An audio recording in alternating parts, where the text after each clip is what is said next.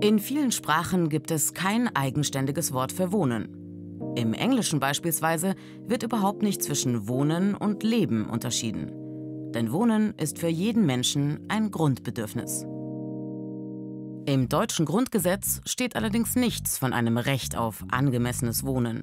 Und dennoch ist Wohnen ein Menschenrecht, das beispielsweise im UN-Sozialpakt fest verankert ist und das allen Menschen Rechte garantiert, die kein Staat gefährden darf und für dessen Einhaltung er sogar verantwortlich ist.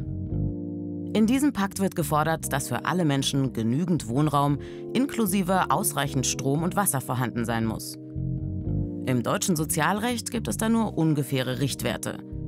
Für eine Einzelperson ca. 50 Quadratmeter, für vier Personen etwa 85 Quadratmeter und in einem Flüchtlingsheim sollten einem Menschen mindestens 12 Quadratmeter zur Verfügung stehen.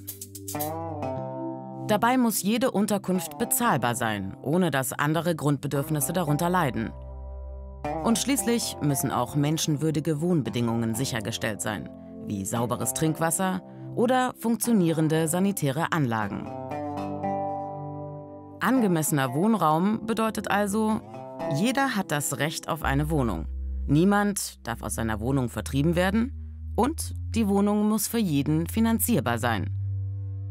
Deshalb übernimmt bei uns auch der Staat die Mietkosten für die Menschen, die sich keine Wohnung leisten können, zum Beispiel weil sie von Hartz IV leben müssen. Trotzdem gibt es auch in Deutschland aus menschenrechtlicher Sicht eine Menge zu tun. Seit einigen Jahren steigt die Wohnungsnot.